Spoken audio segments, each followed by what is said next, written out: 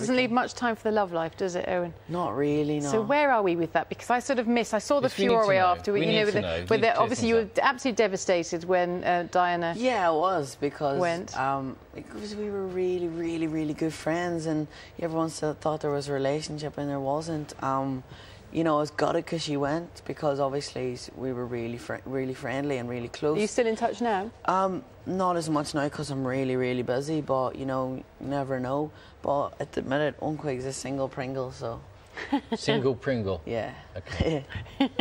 Is that a new kind of crisp? that you get Yeah. out of it? once you once you pop, you can't stop. No, it's a very dangerous thing to talk about.